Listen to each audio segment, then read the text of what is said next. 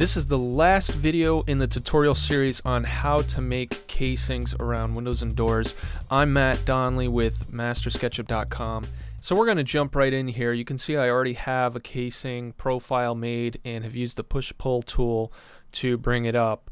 You want to make sure that it's in a group. So if you select that, you should have a bounding box around the entire thing. And then we're going to select the rectangle tool and just create a rough sized uh, rectangle and then push pull it into like a cube.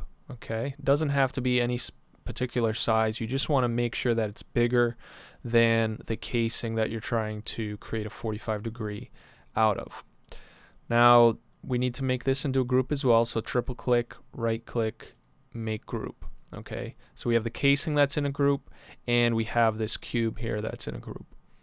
Now the next step, uh, we need to rotate this cube 45 degrees. So we'll select the move tool, hover over, grab those little uh, handles to rotate, and then we're going to grab this corner and line it up with the uh, top corner of the casing.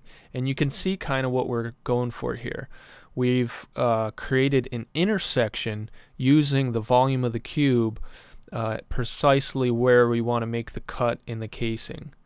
So we're actually using the cube to, to outline exactly where we want to remove uh, mass from the casing. So then with the cube already selected, we can grab from the solid tools menu, we can grab the subtract tool. And since the cube's already selected, that'll already take care of our first selection. So you can see the uh, cursor is asking for our second group. So this one's already being selected as a first group, and that's going to be subtracted from whatever second group we select. So go ahead and click the casing, and it's as easy as that. And you can see that it cut away from the casing exactly where the cube was intersecting. So the last method I want to show you does not require SketchUp Pro. Um, all you need to do is create a casing profile like this, use the push-pull, but you you want to make sure that you are on the, the same level uh, group that the casing is in. So we actually have to open up this group and make sure that we can select all the individual faces of the casing. And then you're going to grab the rectangle tool and just grab, uh, just draw a rough rectangle. You just want it to be a little bit bigger than the casing. And then grab the push-pull tool and extrude it a little bit. Okay? And you have to make sure that you're not uh, creating a group out of either of these. So you still want to be able to just select all the faces of the individual uh, you know parts of these. So then you uh, select all of the entities in the rectangle and grab the move tool. And actually we're going to grab the rotate tool because we have to rotate this to 45 degrees.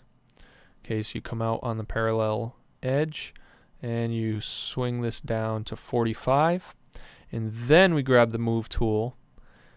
We'll grab this back corner here and we're going to bring it right to this top corner of the casing Alright, and then we will right click, uh, intersect faces, and intersect faces with model. So you can see it basically wherever this cube intersected with this casing, it created a face outline. So now what we can do is grab the eraser tool and just erase all of the parts that we don't need, which is a little tedious, but uh, you can kind of click and drag to make it a little easier. Okay, and we're gonna delete all of this as well. So we can just click and drag to select a bunch of this stuff here.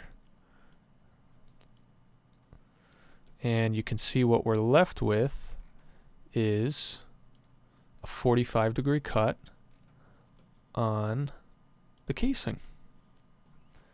And we have just one little bit right here too. Then we're going to want to just reverse the face of this. So you select reverse face, and that's it. You're all set. Thanks for watching this video tutorial on how to create casings in SketchUp. And if you want to learn more about SketchUp, please visit mastersketchup.com. And don't forget to click subscribe on my YouTube channel so you can follow all the videos that I post to YouTube on SketchUp. Thanks, guys.